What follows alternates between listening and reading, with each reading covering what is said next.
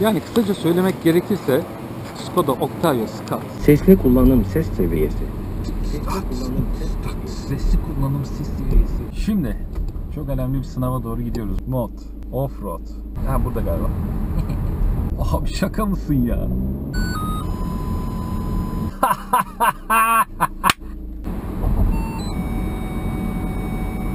Çıktığım yeri bir göstermek istiyorum sana yani.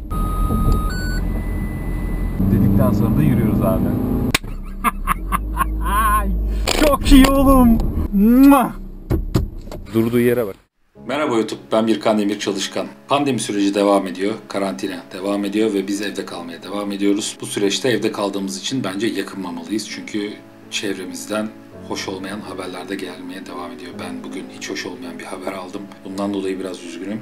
Biraz da sinirliyim ama yine de bir şekilde hayat devam ediyor ve devam etmek durumundayız. Sağlık bir tarafa, ekonomi bir tarafa çok zor zamanlar geçiriyoruz. Umarım iyi bir şekilde atlatırız. Ben de bu arada tabii siz evde kaldığınız zaman sıkılmayın diye böyle şeyler yapıyorum. Hatta öyle ki saçımı falan kestim baksana yani böyle.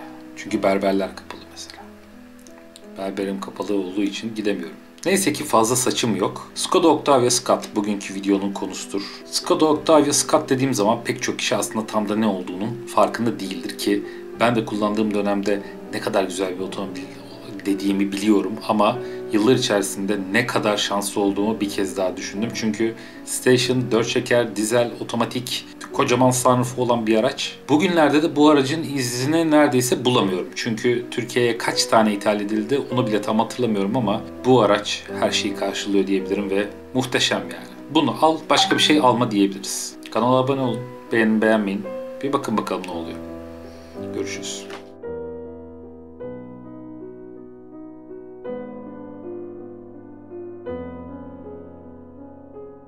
Bir numara mutlu AQ AQ numara Abi Ikea'nın bu müthiş müzikli ortamında Skoda Octavia kullanıyorum. Scout ilk defa kullanıyorum. Niye kapanmıyor ki? Kapanıyor baksana. Araba çok güzel bu arada ya. Baksana şunun güzelliğine. Üstünde çok güzel kış lastikleri falan var. 4x4 daha ne olsun.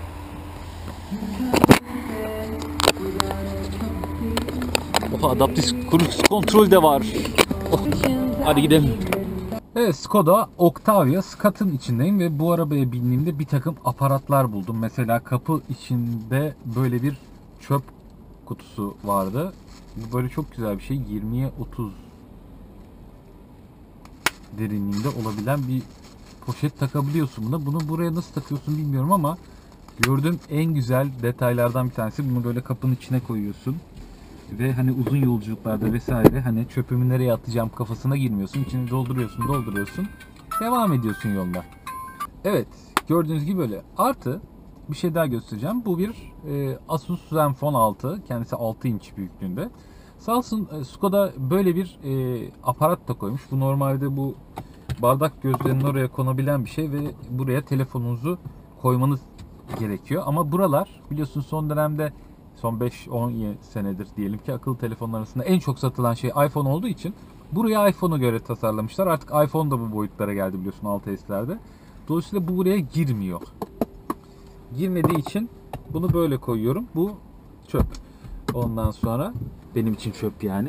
Ondan sonra ve Çeko Cumhuriyeti'nde yapılmış. Bu da oraya da koyabilirsin. Buraya da koyabilirsin. Güzel bir aparat ama ben iPhone kullanmadığım için hiçbir şey ifade etmiyor. Anahtarsız çalıştırma sistemi var. Telefonunu, bak bu çok güzel bir sistem. Ki bakayım benim telefonum bu, buraya da sığmıyor telefonum. Yani bu vitesin önünde bir yer var. Buraya koyabilirsen telefonlu ki benimki oraya girmiyor. Hem daha fazla çekiyor. e, hem de bir de iddiaya göre şarj da ettirme ihtimali olabilir. Neyse. Ah kapattım. Araba çalışıyor zaten. Gidiyoruz. Octavia Scott. Nedir Scott? İzci yani. Bu araba Octavia'nın Station karoserinde. Çok severim kendisini. Ee, yetmiyor. Bir de çok güzel böyle gövde kiti var çevresinde. Misler gibi. Yetmedi. Dört tekerlekten çekişli bu araba. Yetmiyor. 2.0 TDI. Yetmiyor bir de DSG şanzıman. Yani yaşlanmak isteyeceğim bir otomobil yani. Rengi hariç ki ben çok rengi sevmiyorum ama yani Skoda Octavia Scott hatta Octavia Combi Scott diyelim. Benim böyle bu hayatta isteyip isteyebileceğim yani böyle hayatımın sonuna kadar kullanmak istiyorum, kullanabilirim diyebileceğim az sayıdaki otomobilden bir tanesi. Çünkü her şeyini karşılıyor. Devasa bir bagajı var arkasında. İç mekanı çok geniş. 5 kişi rahatlıkla oturabiliyorsun. Burada çok güzel böyle skat yazan buralar deri, buralar böyle nubuk koltukları falan var. Çok güzel. Ve gelen test aracının iç mekanında güzel dokunuşlar var. İşte krom kapı kolları var. Bu içeride böyle bir bir takım böyle döşemeler var. Aynı böyle ahşap görünümlü ama metalimsi bir şey var falan. Döşeme var çok güzel. Direksiyon deri. Aynı döşeme burada da var. Gerçi bunlar plastik ama hani fark etmez. Ee, ve hani çok böyle kullanması rahat. İstediğinizde performansı da gayet yüksek olan bir araba. Şimdi teknik bazı şeylere gelelim. Bu araba 2.0 TDI olduğu için dolayısıyla yüksek vergi durumu var tabii. O yüzden pek tercih edilmeyebilir. Ancak satış fiyatı yaklaşık 140 bin lira seviyesinde. Şimdi şöyle düşünelim. Bu fiyatlara neler var? Mesela Subaru'nun 1.6 benzinli Levorg'u var. Ama yani o hem benzinli hem de yani bir Subaru yani hani çok şey yapmayacağım ama şunu merak ediyorum. 2.0 e, TDI olup da mesela 4 çeker bir Passat Variant ya da bir Audi A4 Avant aldığınızda bu fiyat nereye gider? Buna bir bakın. Çok acayip yerlere gidiyorsa buraya geri dönün. Şunu söyleyeceğim. Bu otomobil ihtiyacınız olan her şeyi karşılar. Bir kere dört tekerlekten çekiş sistemi sayesinde güzel de kış lastiğini takıyorsun baba. Gidemeyeceğin yer yok arabada. Artı yerden çok yüksek olmadığı için de yani bir böyle ağır arazi aracı kadar yerden yüksek olmadığı için de binek otomobil kondisyonunu da sunuyor. Müthiş. Yani müthiş ya yani istiyorum. Koltuk ısıtması var. 3 kademeli. İşte burada adaptif bir cruise kontrol var. Onu da bir şey yapayım. O zaten süper yani. Önde bir radar var. O sürekli böyle tarıyor yolu. İşte sabitleme sistemi kurduğun zaman hani el gazı dediğimiz hikaye var ya onu böyle sabitliyor ayrı konu. Ama önüne bir obje geldiği zaman seni böyle yavaşlatıyor falan. Çok da güzel çalışıyor sistem. Müthiş yani. İşte USB bağlantısı, AUX çıkışı, çift taraflı otomatik kliması. Burada aracın modunu ayarlayabiliyorsun. Mesela Eco, normal, sport, bireysel, offroad var abi. Offroad seçeneği var abi. Bu bir aile siteşinde ne yapıyorsun yani? Offroad nedir yani? Saçmalamayın. Ama biz bunu şimdi normal konuma alalım. Çünkü yoldayız. Koltuk ısıtıcısı çok başarılı çalışıyor bence. Birinci kademede olmasına rağmen böyle hemen popo hemen toto hemen şey oluyor böyle mis gibi oluyor. Unuttuğum bir nokta var. Böyle bir cam tavanı var. Abi şu cam tavana baksana yani. Müthiş. Bu tam açılabiliyor bu arada. Yani hem zaten hafif bir böyle yukarı gidiyor şöyle. Şöyle kaldırabiliyorsun hafif. Bunu böyle tekrar indiriyorsun. İstiyorsan bunu böyle hıh diye de açabiliyorsun. Muhteşem bir araba ya. Benim olsun isterdim yani. Ve gidiyor da bak.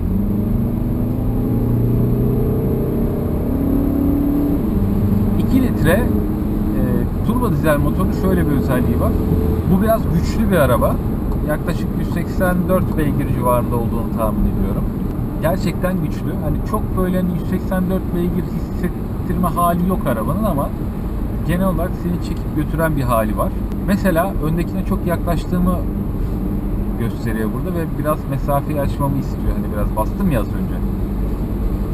Ya abi açıyorum açıyorum da yani İstanbul seviyesi bu yani. Skoda Octavia Scott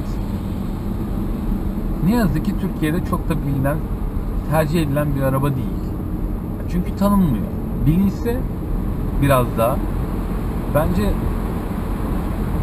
bu otomobilin Türkiye'de çok çok satması lazım abi. Tamam 2 litrelik motorla biraz işi zor ama en azından şu var. Yani yani Türkiye'de satılan otomobillerin yarısı İstanbul'da satılıyor. Evet. Ama diğer yarısı da Anadolu'ya satılıyor. Anadolu insanı bence bu otomobili alırsa çok memnun kalır. Ee, çünkü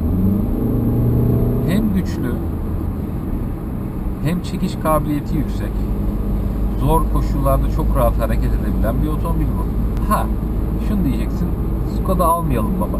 Öyle diyordunuz ama yıllardır Superb aldınız değil mi? Superb'ü görünce ne yani Super B aldınız ve ne kadar iyi bir araba olduğunu gördünüz. İşte size başka bir şey daha söylüyorum. Buyurun. Bu da var. Octavia Scott. Çok güzel. Öndeki de ısrarla soldan gidiyor nasıl Ben de ısrarla kıçından gidiyorum. Evet sevgili izleyenler bir başka köprü günlüğünde daha beraberiz. Bugünkü köprümüz her zaman olduğu gibi yine yoğun. Akıcı değil, yoğun. Octavia Scott'ımın multimedya özelliklerini bu sayede inceleyebilirim. Mesela neler var? Menüsüne tıkladım. Park sensörü daha önceki Volkswagen modellerinde de bayağı bir eleştirdiğim şekilde çalışıyor bu sıkışık trafikte. Geliyorsun, böyle duruyorsun ve park sensörü devreye giriyor. Bu ekranda karşına çıkıyor ve böyle ses çıkarıyor. Hoşuma gitmiyor ve bunu bir türlü devre dışı bırakamamıştım. Bak arkadaki yaklaştı diye ötüyor bu da mesela.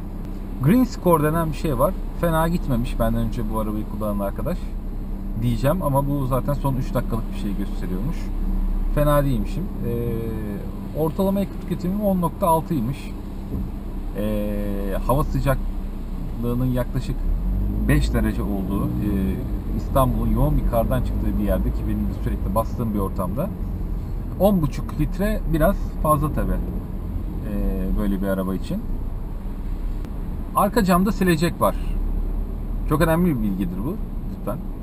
Buradan park sensörü devre dışı bırakabiliyorum değil mi? Allah razı olsun. Bu arada heh, şimdi aracın özellikle araç durumu hiç kayıt yok.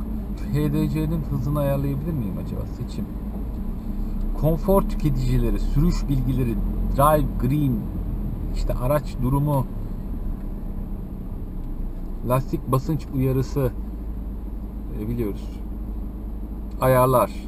ESC sistemi ESP olarak da bilinen etkinmiş. Lastikler sürüş asistanı bakalım neler var. E, front assist çevre inceleme sistemi olarak geçiyor. Etkin ön uyarısı var. Mesafe uyarısını gösteriyor. Yorgunluk algılaması var hacı. Ya yorgunluk algılaması nedir? Ben işte bir arabayla abuk subuk hareketler yaptığım zaman diyor ki hocam sen yorgunsun galiba git bir kahve iç uyu dinlen falan diyor, ama bu İstanbul koşullarında sürekli devrede olan bir sistem. Park ve manevra, far, ayna ve silecekler, açma kapatma, koltuklar. Koltuklara bakalım neler var. Oturma konumunu kay... Aa elektrikliymiş koltuklarım. Oo çok iyiymiş. Oha bu arabanın koltukları da elektrikli ve hafızalı ve ısıtmalı. Of Allah'ım. Araç anahtarı etkinleştirildi. Hmm. Gösterge tablosu, saat ve birimler, servis, fabrika ayarları falan filan. Araba da yok yok. Konfor tüketiciliği. Klimam şu an bir miktar çalışıyorum. Şunu kısalım. Konfor tüketicilerim. Ayna ısıtması açıkmış. Nasıl açık oluyor? Şu. Oo, ön cam ısıtması var hacı.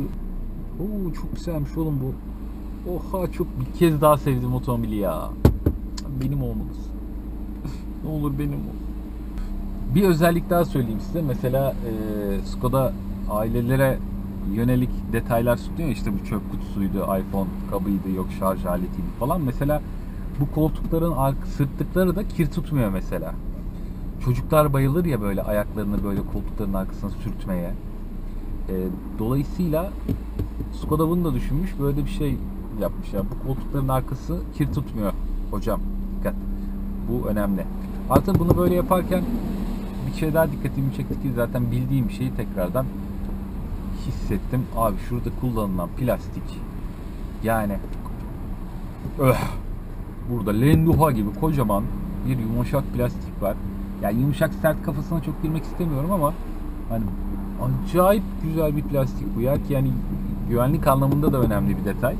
Yumuşak hikayeler burada, kaplamalar burada devam ediyor ama burada serte geçiyoruz artık alt tarafa doğru. Burası da mı öyle? Oho ye. Şimdi şu var, bu kadar iyi otomobillerde genellikle ruh olmaz hikayesi vardır ya hani çok böyle e, mantığa seslenen otomobillerde ruh yoktur falan gibi. Bence bu arabada ruh da var. Ha Alfa Romeo değil tabii yani onun gibi gözükmüyor. Ama en azından bu fonksiyonelliğin verdiği ruhu yansıtıyor ki rol yapmıyor yani. Ben buyum diyor ve böyle gözüküyorum. Ona göre de hani bir tasarımım var. Şimdi bu araba nasıl daha iyi olurdu? Mesela bunun 1.6 dizel otomatiği olsa Allah derim ama onun da fiyatı zaten buraya geliyor yani işte bir acayip zor yarış evet bir kez daha yaşanısı güzel bir şehir abi İstanbul ya hadi diyoruz Metropoligakluk bilmem ne. Evet pek çok şehirde dünyanın en manyak şehri burası yani. En ruh hastası şehri. Hani ben çocukken hani böyle dünyanın belirli ülkeleriyle ilgili şeyler anlatıldığında özenirdim. Ah Paris, Londra, New York. Zaten New York'a geçebilecek bir şehir var mı bilmiyorum ama hani Tokyo, Mokyo falan. Şimdi Çin ne oldu? İşte Çin'de işte Şangay falan. E Bunlar oldu oldu. Abi İstanbul'da yani onlardan geri kalmadı artık yani bu nedir? Bu ne manyaklık? Bu ne bohem ya? Bu ne bir, bir, bir aşağıt bir şey oldu yani. Dünyanın en pahalı şehirlerinden biri oldu yaşamak ya. Land Rover yıllar önce neredeyse 20 yıl oldu galiba önce Hill Descent Control diye bir şey tanıtmıştı bayırdan aşağı indiğin zaman arabayla seni durduruyordu ve kendi kendine fren yaparak indiriyordu. Hani bununla da övünür Land Rover'cılar yani. Hill Descent Control, vay acayip sistem falan filan. Arazi falan. Abi o sistem bu arabada da var ya. Araziye giremez falan. Gakluk falan işleri yapıyorsanız bu arabada istiyorsan o da var. Çünkü bütün bu sistemlerin hepsi aslında elektronik olarak çalışıyor. Ve güzel de çalışıyorlar. Telefon bağlantımız var tabii ki trafik Smart Link diye bir şey var tıklıyoruz. Smart Link'e hoş geldiniz. Lütfen bir cihaz seçiniz. Cihaz listesi. Hiç kayıt yok. Neyse şaşırdım. Niye şaşırıyorsam. Radyo, medya, resimler, ee, ses, ses ayarları var burada. Ya benim en sevdiğim şeylerden bir tanesi bak bunu ses seviyesi. Kanton Equalizer, Kanton Optimizasyon, Kanton Surround, subwoofer'ı dibine dayamış bir arkadaş. Dokunmatik ekran sesli kullanım ne demekse. Sesli kullanım ses seviyesi. Sesli kullanım ses seviyesi. Sesli kullanım ses seviyesi. Sesli kullanım ses seviyesi. Değil mi? Bu kadar mı? Sesli kullanım ses seviyesi. Sesli kullanım ses seviyesi. Sesli kullanım ses seviyesi. Geçiyoruz. Ha park ha burada galiba. işte bu.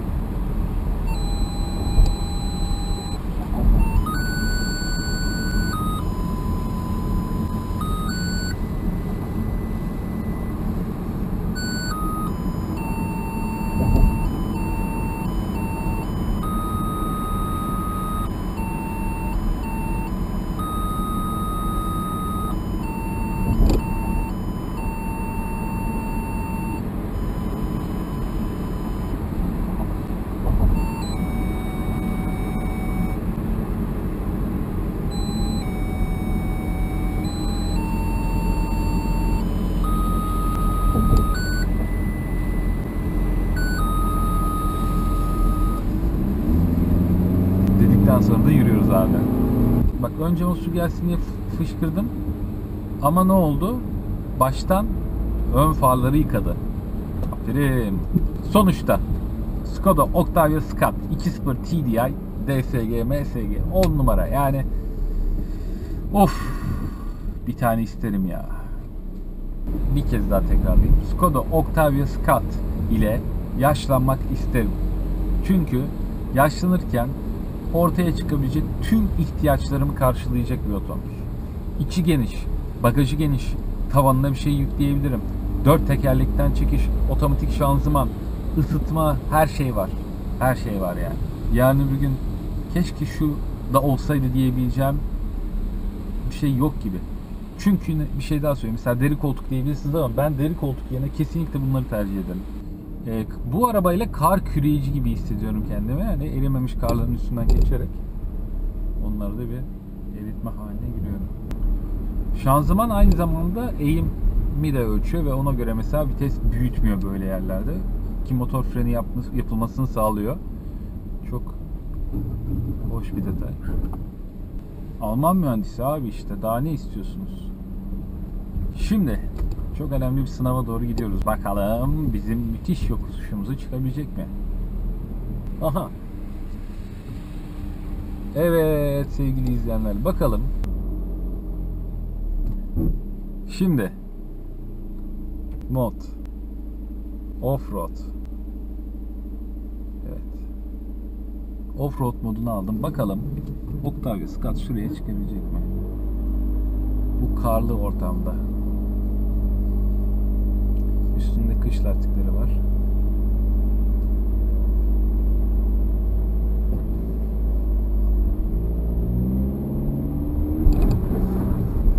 Abi şaka mısın ya?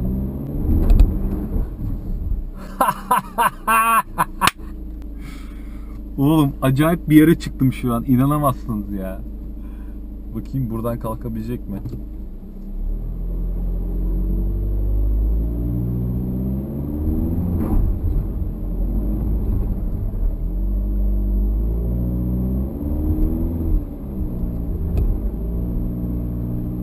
Abi şaka gibi ya. Araba şaka gibi abi.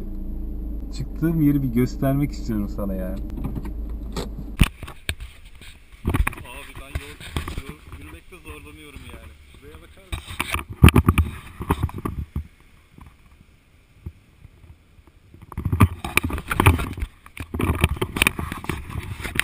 Bak normal eğimi göstereyim sana. Normal eğim bu yani şu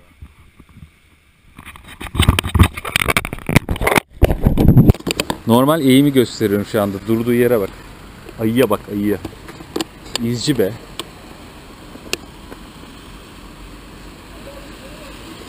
Çok iyi değil mi? Ben bu arabayı döndürürüm bile şimdi buradan. Hayır.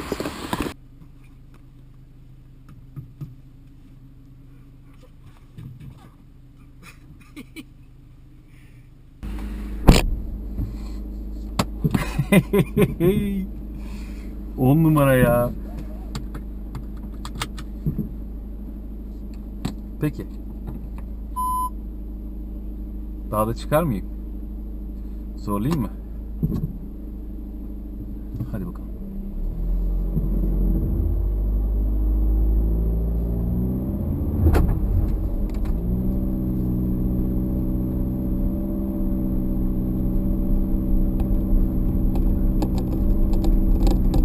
Abi şaka gibisin ya.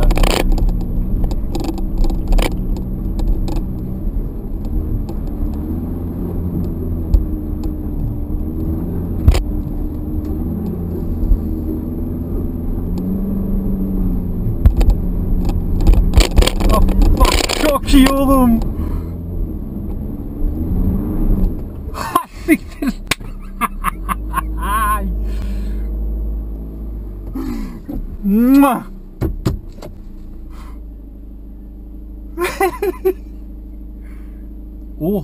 Diyorum ya.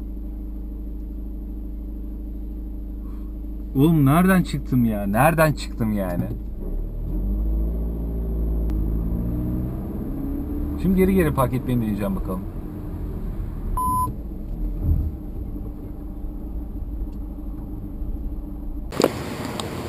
Yani kısaca söylemek gerekirse Skoda Octavia Scott az önce bu yokuş çıktı.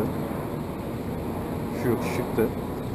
Sonra indi ve e, geri geri buraya da park etti. Bakar mısın şuna? Yani tabi normal konumdayken ön tekerlekler biraz patinaj yaptı ama off-road konumuna aldığım zaman alet çatır çatır çıktı burayı. Ben bile yürüyemiyorum.